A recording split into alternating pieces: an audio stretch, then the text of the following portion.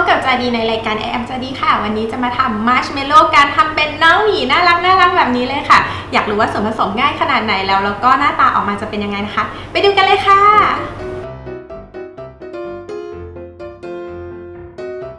มาเริ่มทำตัวมาร์ชเมลโล่กันค่ะ วันนี้จาดีใช้เป็นเจลาตินแผ่นนะคะ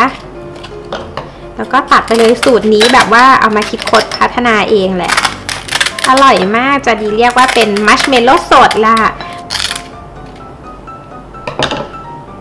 ขั้นตอนต่อไปค่ะ ใส่น้ำเปล่าค่ะ ลงไปหมดเลย เป็นน้ำอุณหภูมิห้องได้เลยนะคะ ไม่ต้องเป็นน้ำเย็นค่ะ แล้วคราวนี้เราจะรอให้เจลาตินจากที่เป็นแผ่นๆอย่างเงี้ยค่ะ กลายเป็นเจลาตินนิ่มๆจับแล้วคล้ายๆ แบบวุ้นรอไปประมาณสักหนึ่งนาทีก็ได้แล้วค่ะ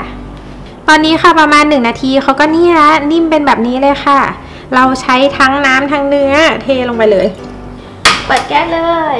ใช้เป็นไฟกลางนะคะ แล้วก็ใส่น้ำตาลค่ะลงไปทั้งหมดเลย แล้วคราวนี้เราก็จะเคี่ยวให้น้ำตาลเดือดแล้วก็เจลาตินละลายทั้งหมดค่ะ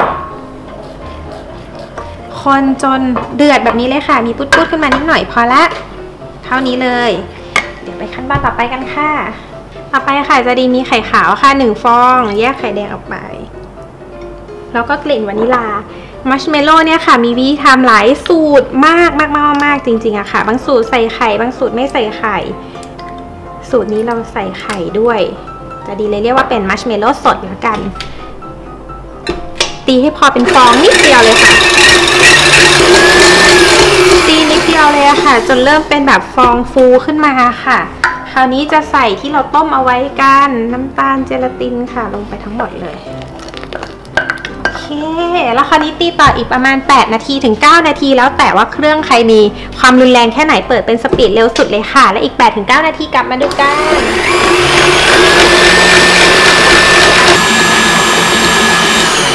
ครบ8นาทีค่ะของจาดีเครื่องแรง 8 นาทีก็พอ นี่เป็นแบบนี้เลยล่ะ เป็นมาร์ชเมลโล่แบบเหนียวเหนียวครีมครีม รบ 8 นาทีค่ะ เนื้อออกมาเป็นครีมนุ่มแบบนี้เลยล่ะ เป็นยอดอ่อนแบบนี้ค่ะ ไปผสมสีกันค่ะ ผสมสีกันก็ใส่สีลงไปได้เลยค่ะ สีผสมอาหารนี่แหละ แล้วก็ลองคนๆดูค่ะ แล้วก็รีบทำรีบบีบใส่ถุงเลยนะคะ ใส่ถุงบีบเลย เดี๋ยวเขาจะแข็งค่ะ จะดีทำเข้มนิดนึงเพราะเดี๋ยวพอเขาลงแป้งสีเขาจะอ่อนลง แล้วก็สีครีม เดี๋ยวจะดีผสมสีนะคะแล้วก็เอาไปใส่ถุงบีบแล้วไปดูขั้นตอนการบีบกันค่ะ แบ่งเป็นถุงบีบเรียบร้อยแล้วค่ะ คราวนี้มาเริ่มการบีบกันจะดีจะใส่เป็นแป้งข้าวโพดค่ะโรยทั้งถาดเลยค่ะ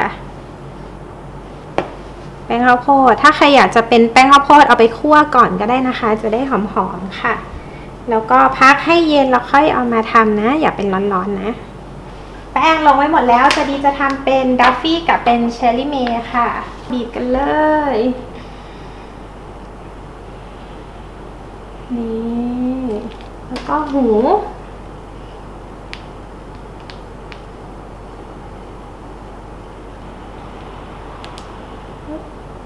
ต่อไปก็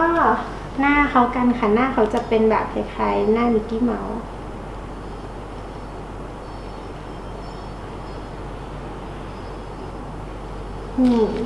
สุดท้ายก็เป็นโบอืมแหลม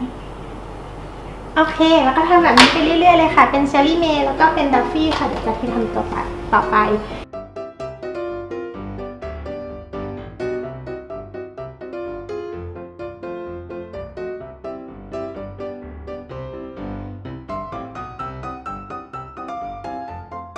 ตอนนี้วาดเสร็จแล้วค่ะอย่าเพิ่งไปโดนนะคะ ถ้าโดนเขาจะเหนียวเหนียวเลยต้องวัดพักเอาไว้ประมาณ 1 ชั่วโมงอะค่ะแล้วเดี๋ยวกลับมากันค่ะเอาไปพักเลย ตอนนี้ค่ะเสร็จครบ 1 ชั่วโมงเรียบร้อยแล้ว แล้วก็ตอนที่เราจับอะค่ะอย่าเป็นมือเปล่าๆเราไปจับนะคะ ไม่งั้นยังไงก็ติดค่ะให้มือแบบโดนแป้งนิดนึง แล้วก็ไปจิ้มเขาเนี่ยเขาจะแบบเฟิร์มอยู่ตัวละคราวนี้เราจะมาวาดหน้าเขากันหน้าจะดีใช้เป็นสีดำค่ะ แล้วก็ใช้เป็นไม้จิ้มฟันเนี่ยแหละ จิ้มสีดำ แล้วก็วาดหน้าเขากันจมูก แล้วก็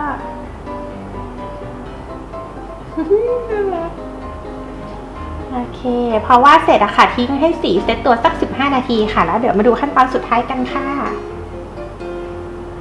พักไว้ 15 นาทีจนแบบสีดำเนี่ยค่ะ เขาแห้งเซตตัวแล้วคราวนี้ก็เอาเป็นแป้งข้าวโพดค่ะ โรยเลย